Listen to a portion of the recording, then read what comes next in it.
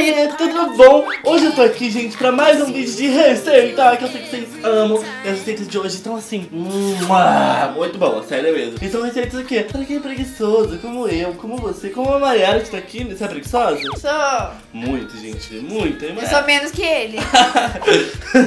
Mas, gente, sou tão preguiçoso que, olha só Não consegui nem me arrumar. A parte de baixo eu tô de pijama e pantufa mas então antes da gente aprender essas receitinhas que são muito fáceis, eu quero pedir uma coisa muito fácil pra você. Deixa seu like aí e se inscreve no canal se você ainda não é inscrito, que aqui tem vídeo todos os dias. Então chega de blá blá blá blá blá e vamos conferir o vídeo! Então vamos começar por quê, gente? Por um brigadeiro, assim, muito gostoso mesmo. E pra isso a gente vai precisar de uma panela e nela eu tô colocando uma colher de margarina. Aí eu deixo essa colher de margarina dando uma derretidinha ali de leve e já venho tacando o quê? O leite condensado por cima de tudo isso daí, tá bom? Coloco uma caixinha de leite condensado bem espremida mesmo, pra usar todas as gotinhas. Aí agora eu vou vir mexendo tudo isso daí pra misturar o leite condensado e a margarina. Pode ser manteiga também, caso você queira, tá bom? Gente? Aí, ó, vou misturando tudo e aí, logo em seguida, eu já venho adicionando o toque final disso tudo, que vai dar realmente o sabor para o nosso doce, entendeu? Que é o que? Leite em pó ou leite ninho, você que sabe. Então, eu tô colocando ali dentro 3 colheres de leite em pó, tá bom? Aí eu misturo tudo isso daí bastante. E o engraçado, gente, é que ele é muito mais rápido de ficar no ponto do que brigadeiro. Não sei porquê, talvez por ser leite em pó e ser Nescau, porque a receita é basicamente a mesma, né? Mas é só você misturar tipo uns 5 minutinhos e ele já vai estar nesse ponto que é o ponto que a gente precisa, tá bom? A não ser que você queira enrolar o brigadeiro,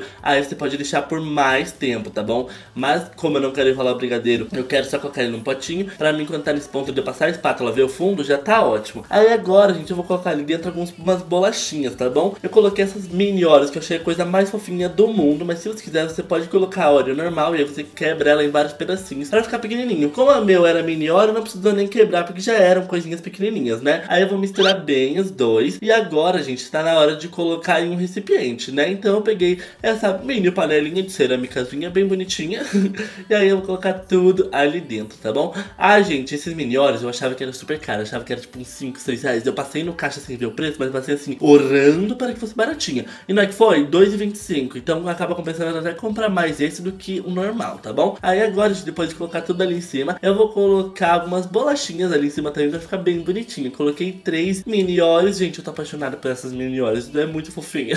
e aí agora, gente, é só colocar na geladeira pra dar uma esfriada, porque é melhor comer mais geladinho, né? E tcharam, tá pronto. Tá na hora de comer. Gente, fica sensacional. E é muito gostoso e facinho de fazer. Coisa de 10 minutinhos, tá feito, tá pronto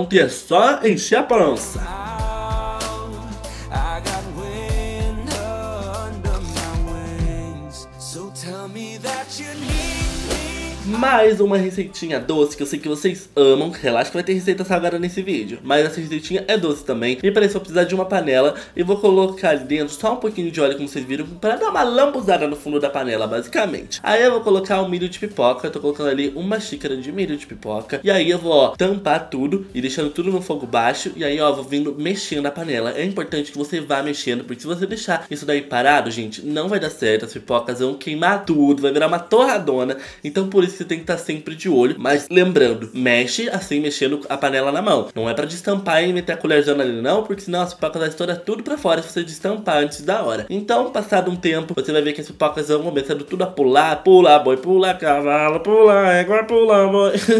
e ó, gente, tá chegando festa junina. Vocês querem vídeo de festa junina, inclusive? Comenta aí que eu posso preparar algumas receitinhas pra você. Mas então, passado o tempo, com as pipocas todas estouradinhas, olha essa coisa linda, coisa bela, coisa maravilhosa de linda. Agora, gente, eu vou dando uma mexidinha ali, diminuo o fogo realmente no último do último, último, último, mais baixinho possível. E aí eu vim colocando ali dentro uma xícara de açúcar, tá bom? Essa é uma xícara de açúcar, eu coloco e vou mexendo. Não posso deixar nenhum tempo parado também, para não acabar queimando o açúcar, porque isso deve virar meio que um caramelo. Então, o ideal é que você coloque, vá misturando para pegar o açúcar em todas as pipocas, e aí ele vai derretendo e virando um caramelo na nossa pipoca, entendeu? Já tá pronta a pipoca, gente. Então agora é só você comer e encher a barriga de novo. Gente do céu, vocês vão ficar tudo gordinho, que nem eu. Mas fica uma delícia, é isso que importa.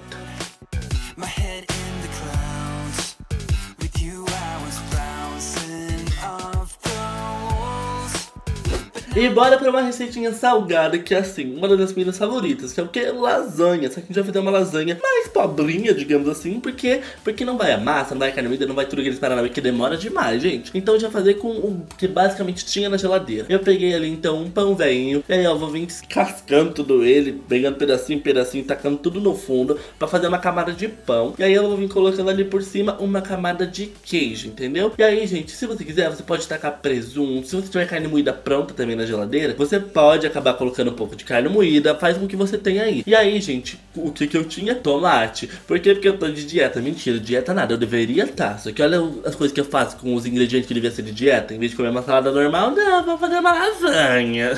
Nunca vou emagrecer. Mas enfim, não importa que eu tô comendo que eu tô feliz. Hum. aí agora, gente, eu vou colocar ali então o tomatinho picado. E aí eu vou vir repetindo as camadas. Então eu vou fazer uma camada de pão mais uma vez. Aí eu vou vir colocando mais uma camada de queijo. E aí, pra finalizar, eu coloco mais uma camada de tomate. E por cima, o que? Queijo, porque queijo nunca é demais. Eu usei duas fatias de queijo. Parece que eu tô falando que eu usei um monte, mas eu usei duas fatias, tá bom? Tudo picadinho. Aí agora, gente, se você quiser, você pode pôr um oréganozinho ali em cima, pode colocar um molho de tomate, você que sabe. Eu, no caso, só fiz isso mesmo porque a ideia é que é justamente que seja o quê? Uma receitinha de preguiçoso, e preguiçoso não quer nem ir no mercado comprar os Paranauê, né? então, depois disso, gente, é só você levar essa misturinha, essa nossa mini lasanha para o micro-ondas. No micro-ondas eu vou colocar lá por 40 segundos, e se você ver que não derreteu o queijo suficiente, você pode colocar por um minuto. O meu eu coloquei por um minutinho, tá bom? 30 segundos mais 30 segundos que deu um minuto. Ai, eu sou muito inteligente. eu sei contar. Mas enfim, gente, olha só. Agora é só você comer. E presta atenção nesse queijo repuxando tudo. Hum, hum, que delícia, gente. Fica muito gostosinho mesmo. Então faz aí na casa de vocês, arrasem, enche o bucho e me dá um like, pelo amor de Deus. É isso aí, tu clica em gostei aqui embaixo, se inscreve e até o próximo vídeo. Falou! Tchau! Uh!